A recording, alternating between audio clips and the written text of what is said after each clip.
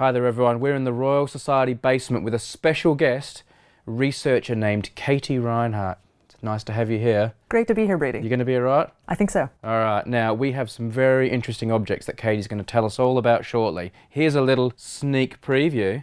Pretty cool. But before we get to that, we have to tell a bit of a story, and it involves a very famous book document that we've talked about before here on Objectivity. It's this bad boy here. This is the manuscript of Isaac Newton's Principia, one of the most important, if not the most important, science document of all time. And this is like the handwritten version that went to the printers. Have you seen this before, Katie? Like, I have. This is a fair copy, so this is written actually very nicely to be given to the printers to set the type for the printed version of the Principia. You can also see here through the text there's little marks of where the figures need to go. Here we go. We see here a little mark. Put figure one here. And if we go further into the book, perhaps let's find another example. Here we go. So there's all these little notes to the printers so they know where to put the figures. Now, the actual drawn figures that would have been supplied at the time are no longer with us, unfortunately. But if we go to an early version, of the actual printed final thing all the way through. there are some figures. It's great to see how diagrams were part of the process of doing mathematics at the time. It was a very visual practice. Now the question you may have at home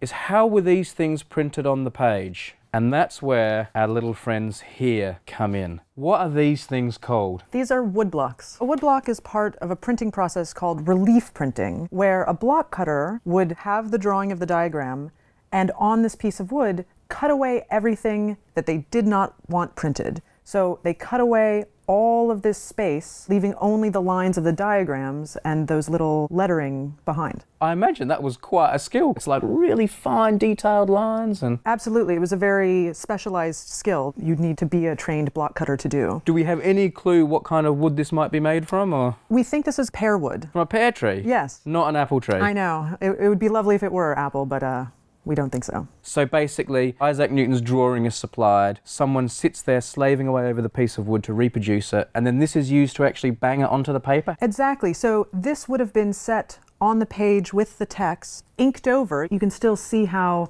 the raised lines are darker from the remaining ink, and then pressed on the page. So only the ink that's on the lines remains on the page. What are all these little holes on this old one here? So a worm got to this block sometime between the 17th century and now. Ah, oh, naughty worm. In case we haven't made it clear, these are wood blocks used for Principias. So we could actually go into the copy of Principia here and match up these wood blocks with the figures in the document.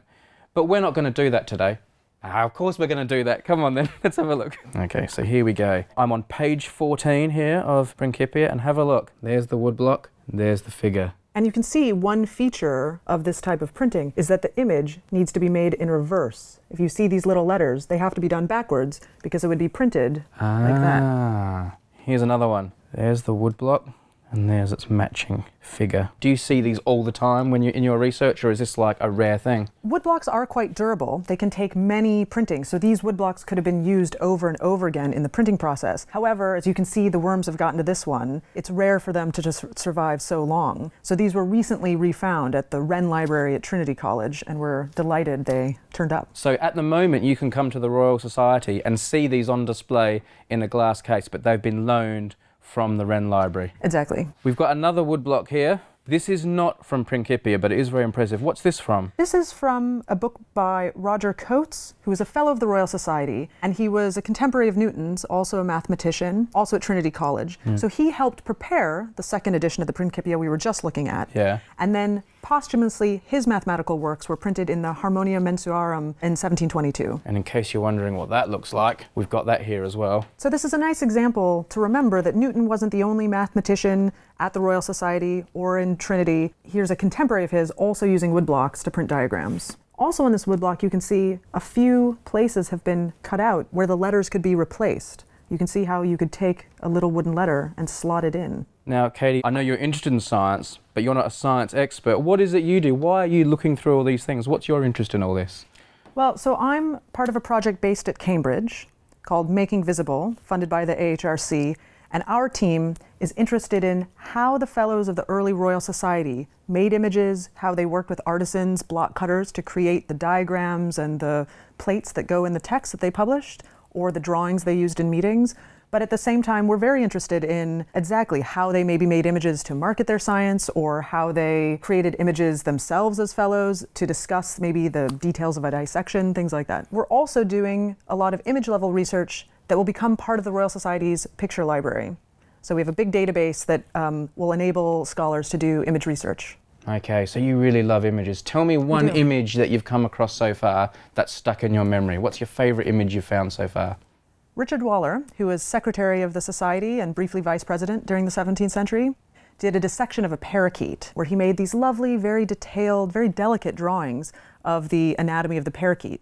And it includes a little feather. He shows all the different colors, the striation of colors in the parakeet's feather. I think this image is both very beautiful, but also shows how the early fellows were interested in anatomy, but also he was interested in the changing of the color in a single feather. So I think it kind of is a beautiful and scientific image.